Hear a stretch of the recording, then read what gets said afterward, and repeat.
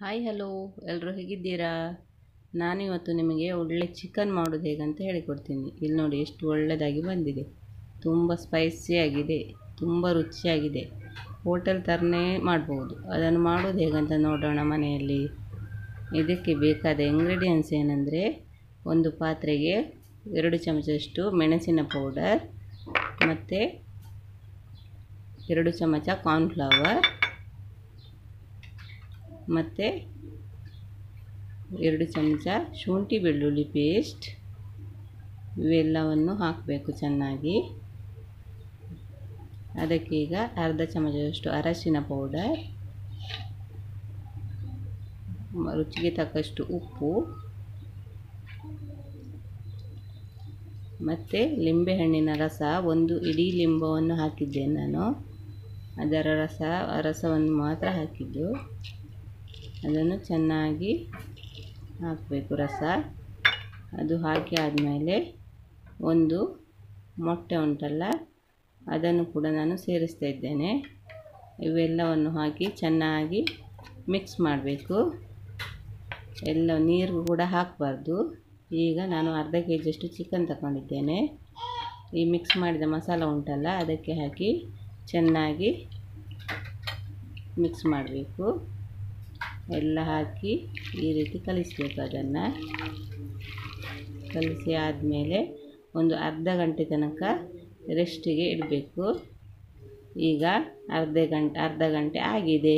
ಈಗ ಇದನ್ನು ನಾನೀಗ ಒಂದು ಕಡಾಯಿ ಇಟ್ಟಿದ್ದೇನೆ, ಅದಕ್ಕೆ ಎಣ್ಣೆ ಹಾಕಿದ್ದೇನೆ.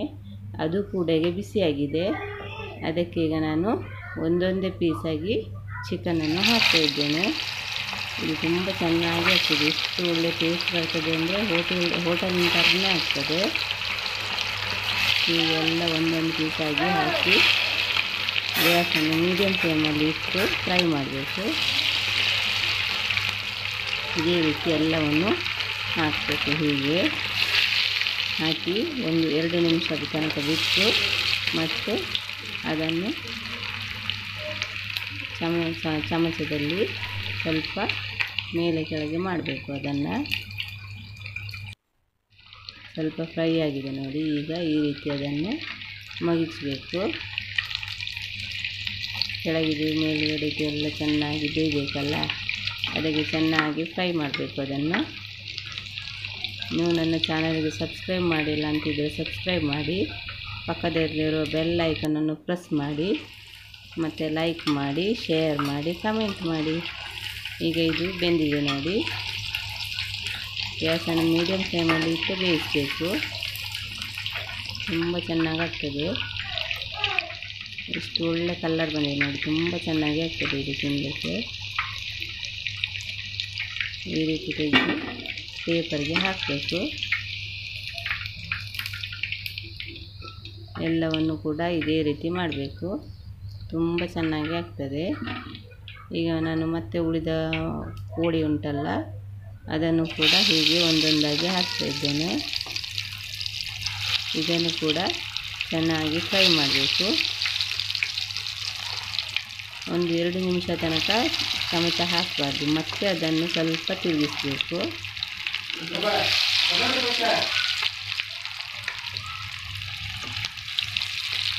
ಇದೇ ರೀತಿ ಎಲ್ಲವನ್ನು ಒಂದೊಂದಾಗಿ ಹಾಕಬೇಕು. ತುಂಬ ಒಳ್ಳೆಯದಾಗ್ತದೆ ಈಗ ಇದನ್ನು ಎರಡು ನಿಮಿಷ ಆಗಿದೆ. ಈಗ ಚಮಚದಲ್ಲಿ ಈ ರೀತಿ ಮಾಡಬೇಕು ಅದನ್ನು. ಎಲ್ಲವನ್ನು ಕೂಡ ಇದೇ ರೀತಿ ಹಾಕಬೇಕು. ಈಗ ಆಗಿದೆ ನೋಡಿ, ಎಲ್ಲ ಚಿಕನ್ ಫ್ರೈ ತುಂಬ ಟೇಸ್ಟಾಗಿ ಆಗಿದೆ. ನೀವು ಕೂಡ ಇದೇ ರೀತಿ ಮಾಡಿ. Okay bye take care